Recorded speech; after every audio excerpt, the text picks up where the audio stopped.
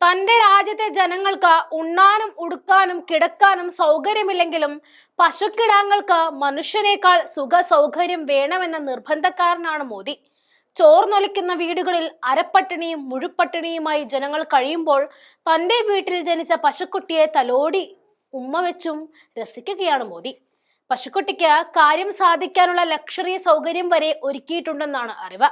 ഡൽഹിയിലെ ലോക് കല്യാൺ മാർഗിലെ പ്രധാനമന്ത്രിയുടെ വസതിയിൽ പശുക്കുട്ടി ജനിച്ചതിന് ശേഷം അതിനെ തലോടുന്ന മോദി ബി ജെ പിക്കാർക്കുള്ളിൽ ആഹ്ലാദമുണ്ടാക്കി. കാരണം ഗോഹത്യ എന്ന പേര് പറഞ്ഞ മനുഷ്യജീവനുകൾ ഇല്ലാതാക്കുന്നവരുടെ തലവനാണ് മോദി എന്ന് തന്നെ.